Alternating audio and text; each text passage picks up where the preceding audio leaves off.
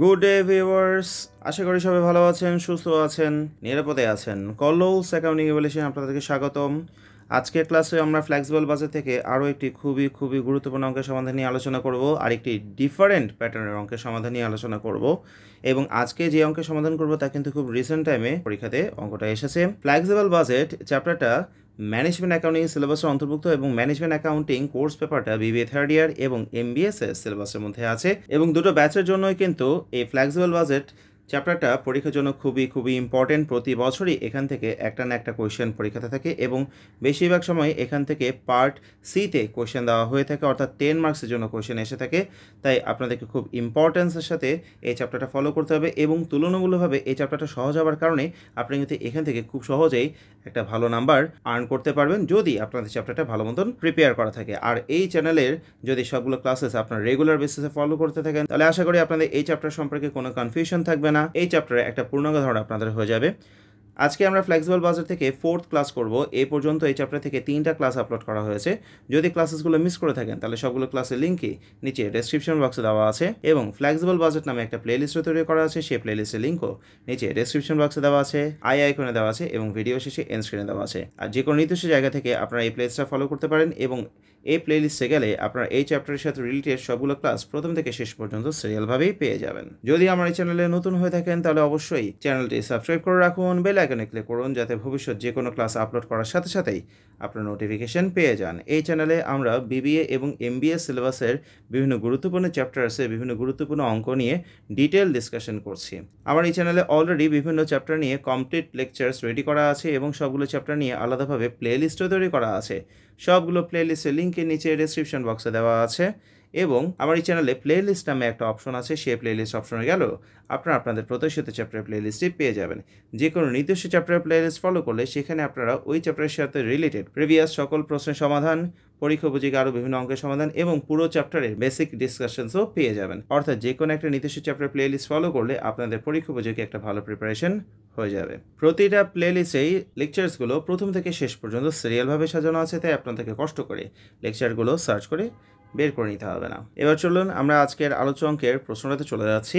On the basis of standard working level hundred percent normal capacity the following information are given about Ratan industries এখানে একশো percent normal capacity যেটা হচ্ছে কি standard working level অনুসারে রতন ইন্ডাস্ট্রিজের কিছু information তথ্য বলে দেওয়া আছে। স্ট্যান্ডার্ড ওয়ার্কিং লেভেল মানে কি একশো পার্সেন্ট ক্যাপাসিটি লেভেলে কাজ হয় কি ফোর থাউজেন্ড লেবার আওয়ার্স চার হাজার শ্রম সময় কাজ করানো হয়। আমরা এর আগে যে ফ্লেক্সিবল বাজারের অঙ্কগুলো করে এসেছি, সেখানে আমাদের কিন্তু ক্যাপাসিটিটা কোয়ান্টিটিতে দেওয়া ছিল মানে কি ইউনিটসে দেওয়া ছিল, কিন্তু দেখা যাচ্ছে কি আজকের অঙ্কটাতে এখানে বাজেটের হিসাবটা আওয়ার্সে দেওয়া আছে অথবা লেবার আওয়ার্সে দেওয়া আছে। এটাতে কিন্তু আমাদের অঙ্কের সমাধানে কোনো পরিবর্তন আসবে না। আমরা আগের অঙ্কগুলো যেভাবে সমাধান করে এসেছি, যেভাবে একটা ফ্লেক্সিবল বাজেট তৈরি করেছি, ঠিক সেরকমভাবে এখানেও আমরা একটা ফ্লেক্সিবল বাজেট তৈরি করব। তবে এখানে আমরা ইউনিট ওয়াইজ হিসাব না করে আওয়ার ওয়াইজ হিসাব করব। এই হচ্ছে কি ডিফারেন্স আমরা প্রশ্নের পরবর্তী অংশ দেখছি। এখানে কিছু ফিক্সড এক্সপেন্সেস দেওয়া আছে insurance tax depreciation supervisors salaries চারটা ফিক্সড এক্সপেন্স দেওয়া আছে ভেরিয়েবল এক্সপেন্সেস পরিবর্তনশীল ব্যয়সমূহ দেওয়া আছে indirect materials and supplies indirect wages miscellaneous যেগুলো পার আওয়ার রেট দেওয়া আছে। আমরা জানি ভেরিয়েবল কস্টগুলো আওয়ার্স অথবা ইউনিটের সাথে সমান হারে পরিবর্তনশীল, তাই এগুলো আমাদের টোটাল কস্ট না দিয়ে পার আওয়ারে দিয়ে দিয়েছে এবং পার আওয়ার অনুসারে আমরা অ্যাক্টিভিটি লেভেল অনুসারে খরচগুলোকে অ্যাপ্লাই করতে থাকব। এরপর সেমি ভেরিয়েবল এক্সপেন্সেস আছে, যার মধ্যে ফিক্সড পোর্শন এবং ভেরিয়েবল পোর্শন ভাগ করে দিয়েছে। যেমন মেনটেন্যান্সে ফিক্সড হচ্ছে কি পাঁচ হাজার টাকা আর প্রতি এক ঘণ্টার ভেরিয়েবল রেট হচ্ছে কি এক টাকা করে। পাওয়ার হাউসে ফিক্সড হচ্ছে কি আট হাজার টাকা এবং প্রতি এক ঘণ্টার ভেরিয়েবল রেট হচ্ছে কি পঞ্চাশ পয়সা। জেনারেলের ক্ষেত্রে ফিক্সড হচ্ছে কি তিন হাজার টাকা, প্রতি এক ঘণ্টার ভেরিয়েবল রেট হচ্ছে কি পঞ্চাশ পয়সা। এখানে কিন্তু এই ভেরিয়েবল রেটগুলো কিন্তু ফিক্সড কস্টের ভিতরে অন্তর্ভুক্ত নাই। ফিক্সড আলাদা ভেরিয়েবলগুলো আলাদা। আমরা ফিক্সডগুলোকে ফিক্সড কস্ট ক্যাটাগরিতে লিখে নেব আর ভেরিয়েবল রেটগুলো অনুসারে ভেরিয়েবল কস্ট ক্যাটাগরিতে অ্যাপ্লাই করব। Requirement prepare a flexible budget at ninety percent hundred percent and hundred and ten percent working level of the indirect production expenses and calculate the expenses rate at this work levels আমাদেরকে নব্বই percent একশো percent এবং একশো দশ percent তিনটা লেভেলের জন্য একটা ফ্লেক্সিবল বাজেট তৈরি করতে হবে। এর আগে তো আমরা তিনটা ক্লাসে ফ্লেক্সিবল বাজেট করে এসেছি, তাহলে জানি কীভাবে ফ্লেক্সিবল বাজেট তৈরি করতে হবে। ফ্লেক্সিবল বাজেট তৈরি করাটা নিয়ে আমাদের এত বেশি কাজ করতে হবে না। তবে এখানে নতুন রিকমেন্ড হচ্ছে কি, নিচের দ্বিতীয় ভাগটা। Calculate the expenses rate at this work levels তিনটা লেভেলের জন্য আমাদেরকে এক্সপেন্সেস রেটগুলোকে বের করতে হবে। খরচের হারগুলোকে নির্ণয় করতে হবে। যা হচ্ছে কি একটা নতুন রিকোয়ারমেন্ট আমরা অঙ্কের শেষে এই রিকোয়ারমেন্টের সমাধান নিয়ে আলোচনা করব। এখন প্রথম বিষয় হচ্ছে কি, আমাদেরকে তো ফ্লেক্সিবল বাজেট তৈরি করতে হবে ninety percent hundred percent and hundred ten পার্সেন্টের জন্য। আমাদের প্রশ্নে হান্ড্রেড পার্সেন্ট লেভেলে ফোর থাউজেন্ড লেবার আওয়ার্সের কথা বলা আছে।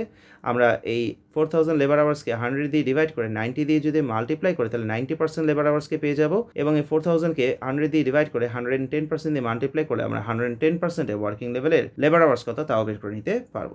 আর ফ্লেক্সিবল বাজেট করার জন্য যেটা মুখ্য বিষয় তা হচ্ছে কি কস্টের ক্লাসিফিকেশন এখানে আমরা জানি যে কস্টকে তাদের বিহেভিয়ার অনুসারে তিনটা ক্যাটাগরিতে ভাগ করা যায়।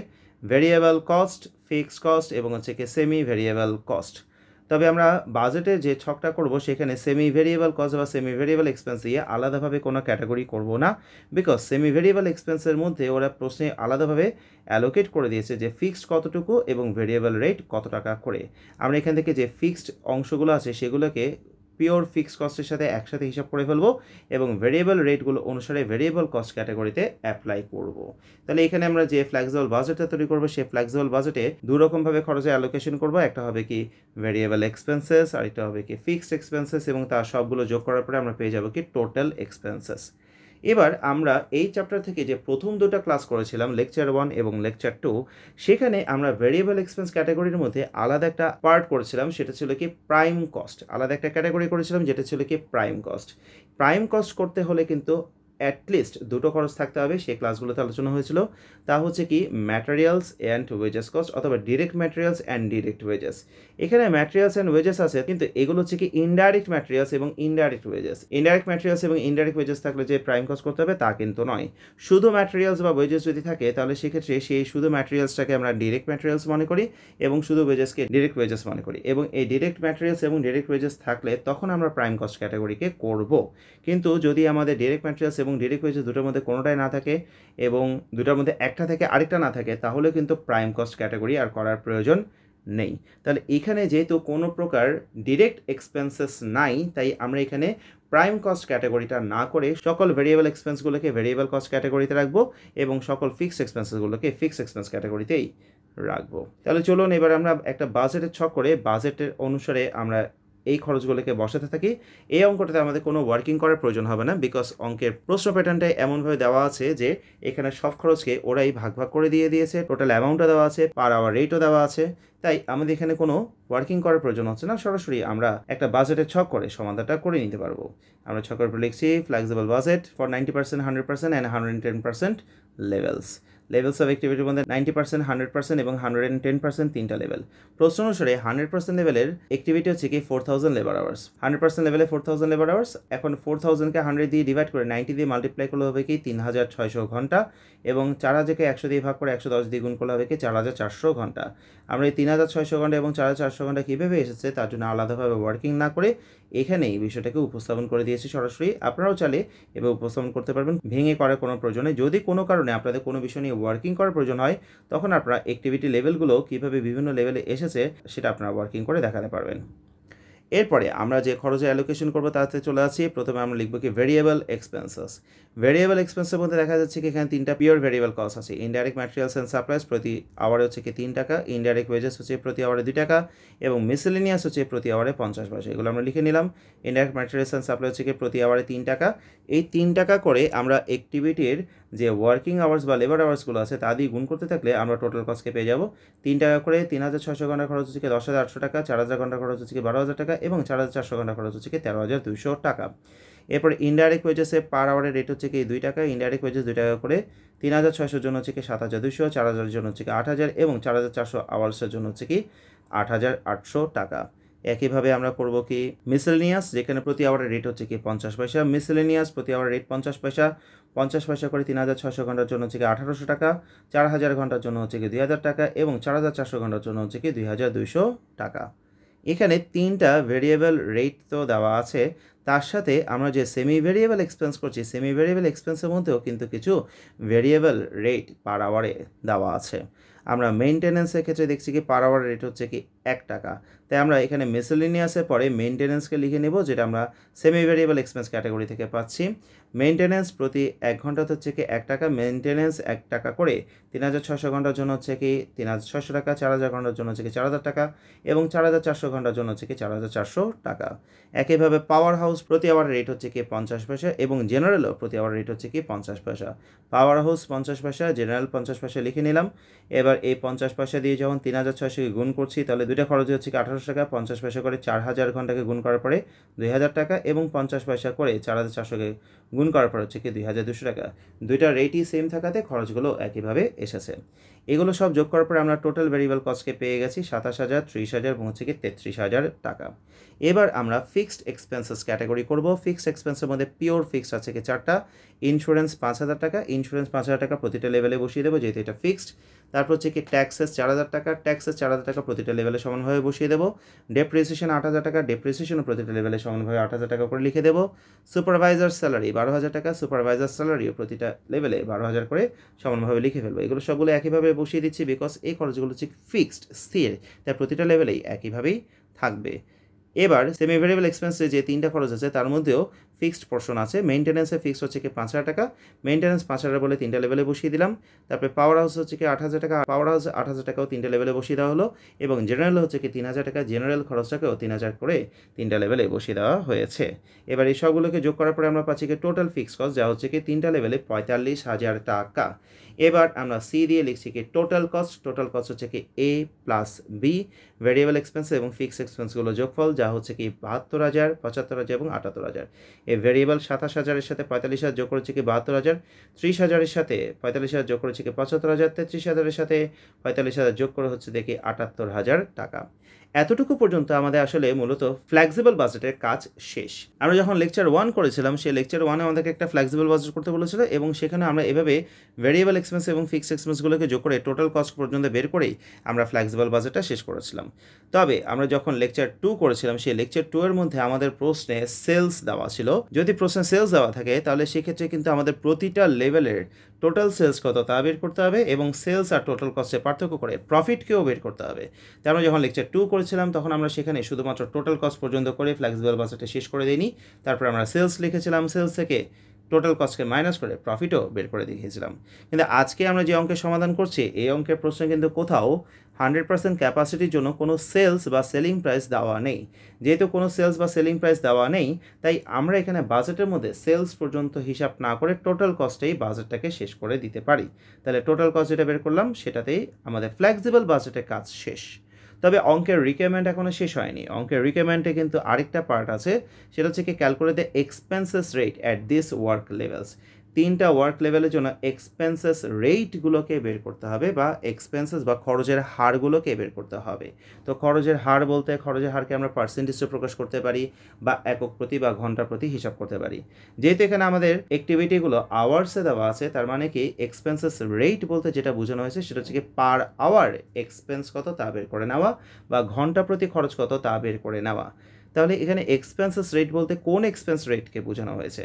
এখানে কিন্তু আমরা তিন রকমভাবে এক্সপেন্স পেয়েছি। একটা হচ্ছে ভেরিয়েবল এক্সপেন্স তারপরে ফিক্সড এক্সপেন্স তারপরে হচ্ছে টোটাল কস্ট বা টোটাল এক্সপেন্স এখন এক্সপেন্সেস রেট বলতে আসলে আমাদেরকে তিনটাকে বের করতে হবে। আমাদেরকে ভেরিয়েবল এক্সপেন্স রেটকেও বের করতে হবে ফিক্সড এক্সপেন্স রেটকেও বের করতে হবে এবং টোটাল এক্সপেন্স রেটকেও বের করতে হবে। এবং রেটগুলো আমরা কীভাবে পাবো?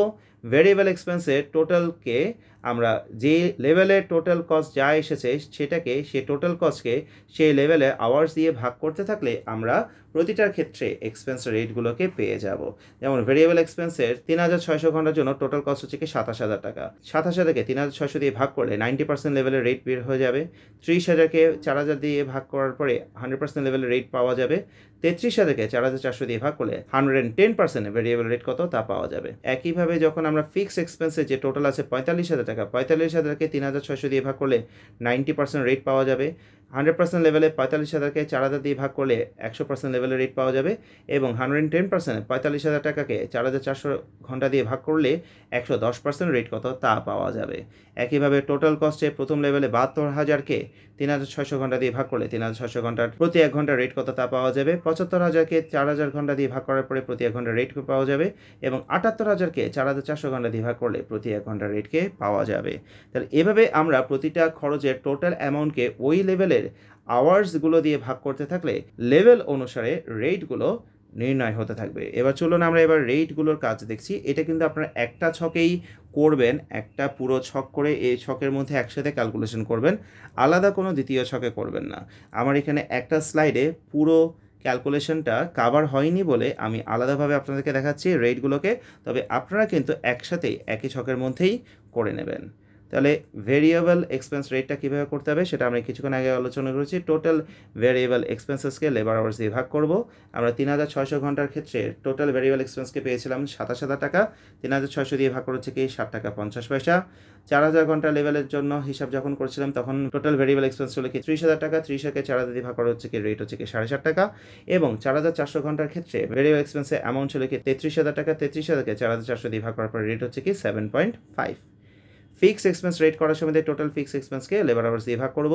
ফিক্স এক্সপেন্সে তিনটা লেভেলে টোটাল ফিক্স কস্ট একই ছিল, পঁয়তাল্লিশ হাজার পঁয়তাল্লিশ হাজার পঁয়তাল্লিশ হাজার। প্রথম লেভেলে পঁয়তাল্লিশ হাজারকে তিন হাজার ছয়শো দিয়ে ভাগ করার পর রেট হচ্ছে কি টুয়েলভ পয়েন্ট ফাইভ দ্বিতীয় লেভেলে পঁয়তাল্লিশ হাজারকে চার হাজার দিয়ে ভাগ করার পর রেট হচ্ছে কি ইলেভেন পয়েন্ট টু ফাইভ এবং তৃতীয় লেভেলে পঁয়তাল্লিশ হাজারকে চার হাজার চারশো দিয়ে ভাগ করার পর রেট হচ্ছে কি টেন পয়েন্ট টু থ্রি এবার আমরা করব কি কম্বাইন রেটস অথবা টোটাল কস্ট রেট বা টোটাল এক্সপেন্স রেট আমাদের প্রশ্ন যদি কম্বাইন্ড রেট করতে বলে, তাহলে এই দুটার যোগফল করলেই কিন্তু কম্বাইন্ড রেট হয়ে যাচ্ছে, অর্থাৎ ডি প্লাস ই আমরা চাইলে এই ডি প্লাস ইকে যোগ করলে কিন্তু কম্বাইন রেটগুলোকে পেয়ে যাব। অথবা কম্বাইন রেট এভাবেও করতে পারি টোটাল কস্টকে লেবার আওয়ার্স দিয়ে ভাগ করে। আমি টোটাল কস্টকে লেবার আওয়ার্স দিয়ে ভাগ করে দেখাচ্ছি। টোটাল কস্ট হচ্ছে কি প্রথম লেভেলে বাহাত্তর হাজার, তাকে তিন হাজার ছশো দিয়ে ভাগ করার পর হচ্ছে কি বিশ টাকা। দ্বিতীয় লেভেলে টোটাল কস্ট পঁচাত্তর হাজার, যাকে চার হাজার ঘণ্টা দিয়ে ভাগ করার পর রেট হচ্ছে কি এইটিন পয়েন্ট সেভেন ফাইভ এবং তৃতীয় লেভেলে টোটাল কস্ট হচ্ছে কি আটাত্তর হাজার টাকা, যাকে চার হাজার চারশো ঘণ্টা দিয়ে ভাগ করার পর রেট হচ্ছে কি সেভেন্টিন পয়েন্ট সেভেন থ্রি তাহলে আমাদের এখানে যে এক্সপেন্সেস রেটগুলোকে বের করতে বলা হয়েছিল, আমরা তিনটা লেভেলের জন্য এক্সপেন্সেস রেটগুলোকে ক্যালকুলেট করে নিয়েছি।